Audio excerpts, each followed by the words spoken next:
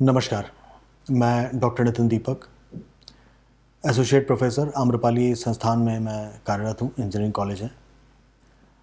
वहाँ computer science में मैं अलग अलग सब्जेक्ट्स पर स्टूडेंट्स को लेक्चर प्रोवाइड कराता हूँ।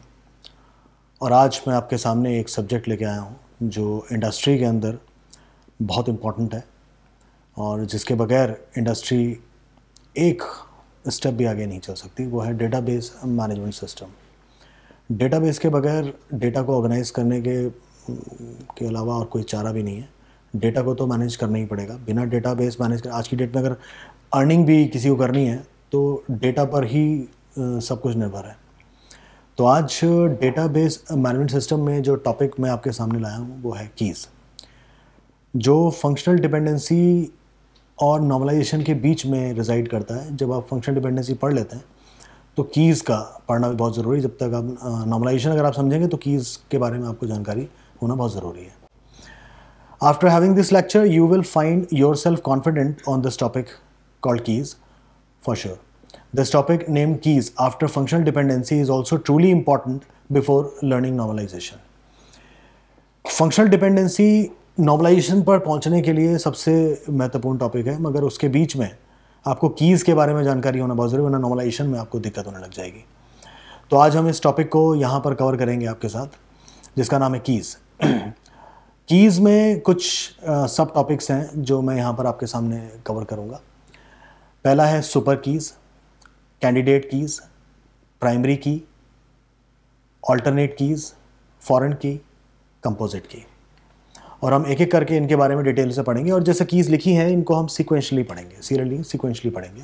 पहले आपको जानकारी देंगे हम कीज़ के बारे में कि what is keys a key is use to identify unique row और टपल इन अ टेबल एक, कोई भी जैसे आपको ज्ञात हो एक्सेल एक्सेल में अगर मैं डेटा को फ़ीड करता हूँ तो कैसे फ़ीड करते हैं? Row and column wise feed करते हैं। रो हमेशा एक एंटिटी या एक ऑब्जेक्ट के बारे में पूरा एक रिकॉर्ड आपके सामने रखता है। उसमें रिकॉर्ड में कॉलम एक भी हो सकता है और एक से ज़्यादा भी हो सकते हैं। यहाँ पर मैंने एक एग्ज़ाम्पल लिया है, यहाँ पर जो कॉलम है वो आपके चार हैं और रोज़ भी हमने चार ही लिए हैं। कॉलम के नेम है ए बी सी डी जो ब्लू कलर से आपको दिख रहा है। और उसके बाद उसके अंदर हमने डेटा फ़ीड किया है कॉलम वाइज रिकॉर्ड है टोटल फोर तो उसको कह सकते हैं हम कि देर आर फोर टपल्स और four rows in this table one, two, three, four, जो डेटा है वो ए कॉलम ए डोमेन पर लिखा गया है।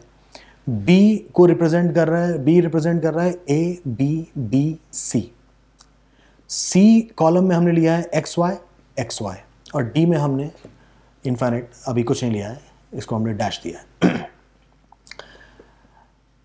अब इसमें हमें देखना है कि if we need to find any specific data then there should be some unique value to search the data specifically. जैसे कि हम स्टूडेंट अगर क्लास में स्टूडेंट हैं फिफ्टी ऑर्ड स्टूडेंट्स हैं, और उसमें मुझे किसी एक नितिन को कॉल करना है या अजय को कॉल करना है तो वो नितिन और अजय एक से ज़्यादा भी क्लास में हो सकते हैं। तो उनका कोई एक आइडेंटिफिकेशन नंबर होना चाहिए जो यूनिक होना चाहिए। तभी मैं उनको कॉल कर सकता हूँ या फिर मैं उनके मार्क्स ले सकता हूँ या उनकी अटेंडेंस ले सकता हूँ, वरना तो ये पॉसिबल ही नहीं है।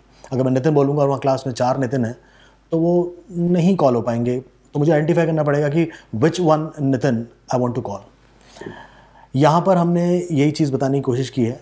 Here you see the column has names A B C and D but rows don't have any name that's why to identify the row uniquely we need to we need a key अब एक column को identify करने के लिए तो column name यहाँ पर है टेबल के अंदर, मगर रोज़ को आइडेंटिफाई करने के लिए हम कोई नाम नहीं दे सकते, ये संभव ही नहीं है। इसी कारण से हमें रो को आइडेंटिफाई करने के लिए कीज़ की हेल्प लेना पड़ता है।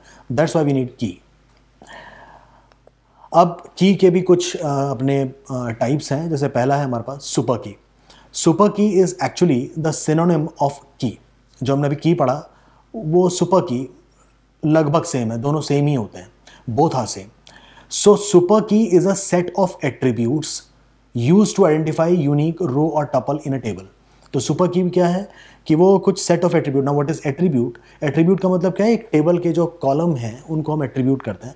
एट्रीब्यूट को हम प्रॉपर्टी भी कह सकते हैं।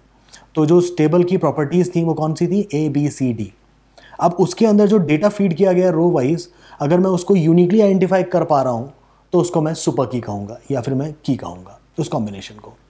लेट्स टेक एन एग्ज़ाम्पल हमने एक रिलेशन लिया है ए बी सी डी जैसा हमने पहले देखा था। अब उसमें कुछ फंक्शनल डिपेंडेंसीज हैं, जैसे यहाँ पर हमने दिए हैं कि A identifies B C and D second है A B identifies C and D third one है A B C identifies D fourth है B D identifies A and C last one is C identifies A and D तो अब देखते हैं कि कौन कौन सी इसमें सुपर कीज हैं। कैसे पता लगेगा? तो पहला हम देखते हैं कि यहाँ पर ए जो है बी और सी और डी को आइडेंटिफाई कर पा रहा है और इसका मतलब वो चारों कॉलम जो हमने फोर कीज लिए हैं फोर एट्रीब्यूट्स लिए हैं, वो चारों कॉलम आइडेंटिफाई हो रहे हैं। दैट मीन्स कि ये जो पहली फ़ंक्शन डिपेंडेंसी है इट रिप्रेजेंट्स की it is a super key इसका मतलब जो ए है, वो यहाँ पर सुपर की के तरह से काम कर रहा है क्योंकि वो चारों आइडेंटिफाई हो रहे हैं इसमें। सेकेंड वन अब उसमें ए बी मिलकर सी और डी को आइडेंटिफाई कर रहे हैं। दैट मीन्स की C is depend C D is dependent upon A and B तो ये भी सुपर की क्योंकि इसमें चारों दोबारा से आइडेंटिफाई हो रहे हैं। अब ए बी सी मिल के डी को आइडेंटिफाई कर रहे हैं। डी ढूंढा जा रहा है किसके माध्यम से? ए बी और सी के माध्यम से। तो ये D is functionally dependent upon A B and C फिर एक बार फिर से वैसे ही है कि चारों आइडेंटिफाई हो रहे हैं इस डिपेंडेंसी से एफ़ डी से। तो इसका मतलब ये भी आपकी सुपर की है। चौथा, जैसे मैं देख रहा हूँ कि इसमें भी चारों हैं बी और डी आइडेंटिफाई कर रहे हैं ए और सी को तो ये भी सुपर की हुआ क्योंकि वो चारों रो के सारे जो कॉलम हैं, वो रो को आइडेंटिफाई कर रहे हैं। तो ये संभव है कि ये सुपर की है। Last one is C identify A and D now there is issue there is an issue ये प्रॉब्लम है कि इसमें बी मौजूद नहीं है, इसका मतलब अगर सी को मैं की कहता हूँ सुपर की कहता हूँ तो वो सिर्फ़ ए और डी को आइडेंटिफाई कर रहा है, मगर बी को नहीं कर रहा है। तो इसका मतलब it is not a super key clear तो हम जब सुपर की की बात करते हैं, पहली बात तो सुपर की और की एक सिक्के के दो पहलू हैं और दोनों बातें सेम है। यहाँ सुपर की को हम कैसे टेक्निकली आइडेंटिफाई करेंगे कि जब वो एक कोई की के माध्यम से मैं पूरे रो को आइडेंटिफाई कर पाता हूँ, कोई भी ऐसा कॉलम नहीं है जो छूट रहा हो तो वो सुपर की कहलाता है। तो इट इज़ अ की एक्चुअली नेक्स्ट हमारे पास है candidate key candidate key is what minimal super key minimal super key is called candidate key let's extend the previous example हम पिछले एग्ज़ाम्पल को हम आगे बढ़ाते हैं। वो रिलेशन हम लिया था A B C and D और यहाँ पर वही हमने फ़ंक्शन डिपेंडेंसीज ली हैं कि A identifies B C D A B identifies C D A B C identifies D fourth one is B D identifies A C and C identifies A D पहला मैं सुपर की, पहले चार हमारे super keys हैं, क्योंकि वो चारों कॉलम को आइडेंटिफाई कर रहा है मिला के। और लेकिन जो लास्ट वन है उसमें बी आपका मिस हुआ है इसलिए वो आपका सुपर की नहीं है। अब बात आती है कैंडिडेट कीज़ की। तो कैंडिडेट्स की क्या है? जो सुपर की का सबसे छोटा सबसे मिनिमम हिस्सा अगर आपके किसी आ, मतलब पूरे रो को आइडेंटिफाई कर पाता है तो that is a candidate key basically clear और वो एक से ज़्यादा हो सकते हैं। अब पहला है पहला हमारा कहता है if a proper subset of a super key super key is a set A B C D अब इसका प्रॉपर सबसेट अगर सुपर की नहीं है then it means a candidate key if a proper subset of a super key is not a super key is not a super key then it means a candidate key इसका मतलब ए आपका candidate की है क्यों? क्योंकि ए जो है आपका proper subset B C D को ढूंढ पा रहा है इसलिए वो कैंडिडेट की है. ऐसे ही हमारे पास नेक्स्ट uh, है ये देखेंगे आप मैं तीनों को पहले दिखाता हूँ फिर आपको समझाता हूँ. देखिए सबसे पहले हम थर्ड वन का एग्ज़ाम्पल लेते हैं। थर्ड वन देखेंगे कि A B C identifies D अब ए बी सी एक सेट है, जो सुपर सेट हम यहाँ पर कह रहे हैं। तो ए बी सी एक सुपर सेट है, जो डी को आइडेंटिफाई कर रहा है, मिला के चारों को ढूंढ रहा है। अब हम उसके सेकंड वन को देखते हैं तो इसका मतलब ये कैंडिडेट की नहीं है। क्यों नहीं है? क्योंकि ऊपर ही इसके हम देखते हैं कि A B A B which is actually subset of A B C also identify C and D that means कि ए बी सी जो है हमारा सुपर सेट सब कैंडिडेट की नहीं हो सकता क्योंकि उससे मिनिमल भी जो ए uh, बी है उससे जो उसका सबसेट है वो भी आपके पूरे रो को आइडेंटिफाई कर पा रहा है। तो इसका मतलब ये कैंडिडेट की होना चाहिए था। लेकिन अब मैं फ़र्स्ट वन को देखता हूँ कि first one is again A A is a subset of A B C and now subset are two of this A B C A B C के सबसेट दो हैं। हमारे पास एक ए बी है और एक ए है। तो सबसे कम, सबसे छोटा, जो मिनिमल सबसेट है वो कौन सा है हमारे पास? ए फ़र्स्ट वन तो इसका मतलब minimum minimal super key is called candidate key that means की A is actually a candidate key which identifies the whole row that means की A identifies B C and D that's why A identifies B C D B C D that means की A is a candidate key now fourth one B D identifies A C अब इसमें हम देखेंगे कि क्या B D आपके किसी subset super set का हिस्सा है। तो साहब A B C B D B D is not a subset of A B C that means कि इसका कोई सबसेट भी नहीं है। तो इसका मतलब इस फ़ंक्शन डिपेंडेंसी में B D B A C को आइडेंटिफाई कर रहा है पूरे रो को आइडेंटिफाई कर रहा है मिनिमल की uh, के साथ। दैट मीन्स कि it is also a candidate key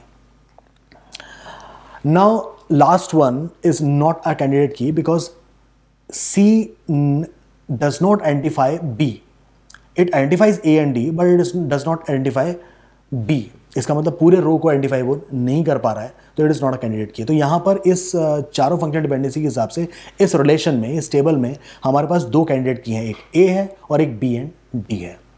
I think it's clear super key तो बेसिकली वो पहले चार हैं ही, क्योंकि वो चारों रो को आइडेंटिफाई कर रहे थे, कोई इशू नहीं है।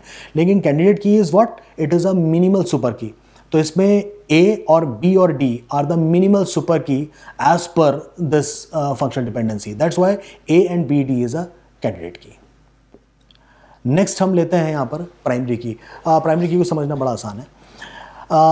कैंडिडेट uh, कीज़ जो हमने अभी आइडेंटिफाई किए थे उनमें से अगर आपका डेटाबेस एडमिनिस्ट्रेटर अगर यहाँ पर मैं ही हूँ और मैं अपने डेटाबेस को प्लान कर रहा हूँ मैं यहाँ पर डेटाबेस में मैं इस ए और बी डी में अगर मैं प्लान करता हूँ कि A should be the better one to be nominated as primary key तो A is the primary key that means कि कैंडिडेट कीज़ में जिसको भी डेटा डेटाबेस एडमिनिस्ट्रेटर चूज़ करेगा कि भैया ये हमारा आगे प्राइमरी की बनेगा that is a primary key simple तो जो मुश्किल काम क्या है पहले आप देख लें सुपर कीज़ फिर आप देखें उसमें आइडेंटिफाई कर पाए कैंडिडेट कीज़ अब कैंडिडेट कीज़ अगर आप सर्च कर पा रहे हो और कैंडिडेट्स आपने सर्च कर लिया उसमें से जो भी आप चूज़ करोगे एज अ डेटाबेस एडमिनिस्ट्रेटर जो आपको लगता है कि बेहतर है, उसको हम प्राइमरी की कहेंगे, जो आपके रो को आगे चल के यूनिकली आइडेंटिफाई करेगा। तो they can be more than one candidate keys in a table in a relation out of which one can be chosen by database administrator is called primary key in in this relation we are choosing A it is chosen that's why it is a primary key that is means super key candidate key and primary key so next one is alternate keys after choosing primary key the left out candidate keys are called alternate or secondary keys. तो जो candidate keys हमने choose करी थी उनमें से एक को मैंने प्राइमरी की चूज़ कर लिया था। तो अगर हमने एक को प्राइमरी की चूज़ करा तो बाकी जो बची हुई कीज़ थी वो ऑल्टरनेट कीज़ कहलाती हैं। कि वो भी आ, बन सकती थी प्राइमरी की बट हमने चूज़ किया प्राइमरी की तो उन कैंडिडेट कीज़ में से जो हमने चूज़ नहीं की हैं वो जो रह गई हैं कैंडिडेट कीज़ उनको हम ऑल्टरनेट कीज़ कहते हैं। यहाँ पर एक एग्ज़ाम्पल लिया है चार कॉलम हमारे पास फोर कॉलम्स हैं roll number student name department and city यहाँ पर फ़ंक्शन डिपेंडेंसी के बाद एक छोटा सा आपने ब्रशअप किया है, एकदम लास्ट एंड रिज़ल्ट दिया है कि हमने यहाँ पे कैंडिडेट्स कीज़ को यहाँ पर चूज़ किया था तो हमारे roll number student name department ये हमारे कैंडिडेट कीज़ का हिस्सा बन रहे थे। और उसमें से हमने रोल नंबर को प्राइमरी की चूज़ कर लिया था तो जो बचे हुए स्टूडेंट नेम और डिपार्टमेंट थे, वो alternate keys कहलाएँगे। Next one is foreign key foreign key are the columns of a table that points to the primary key of another foreign key को हम रेफरेंस की या रेफरेंशियल कीज़ भी कहते हैं।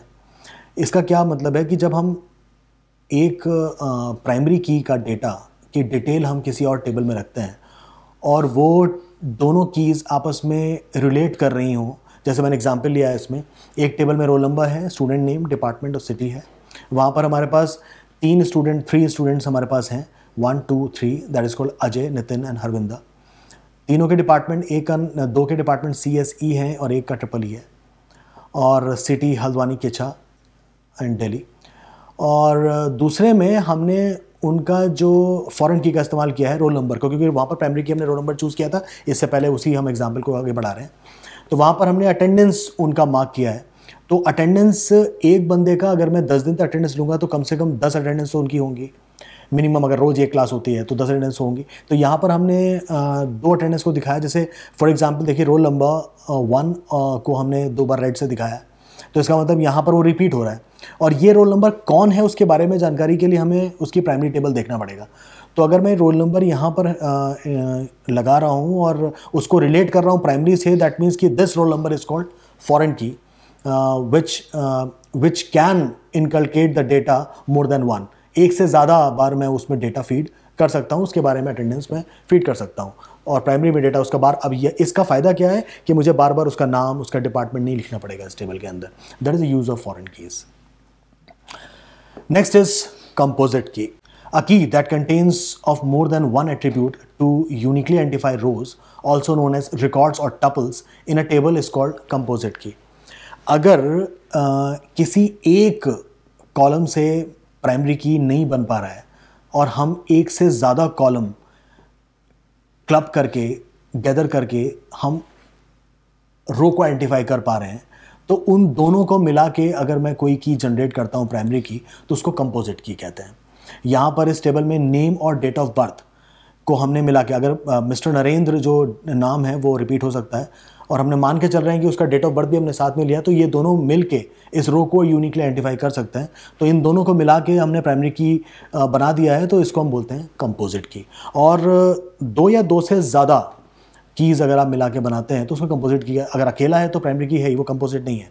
लेकिन अगर एक से ज़्यादा कॉलम आपने ऐड कर लिए हैं, और उससे मिला के आप यूनिकली आइडेंटिफाई कर रहे हैं किसी रो को तो उन दोनों को मिला के उसको बोलते हैं कंपोजिट की तो यहाँ पर कंपोजिट की का जो एग्ज़ाम्पल है, उदाहरण है, वो क्या है? Name and date of birth club करके गैदर करके मिल के रो को यूनिकली आइडेंटिफाई कर पा रहे हैं।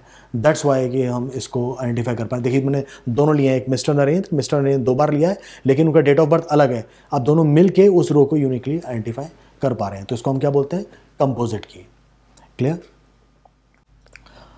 तो आज के लिए इस कीज़ के लेक्चर में इतना ही था। हम अगले लेक्चर में फिर से आपके सामने उपस्थित होंगे। धन्यवाद।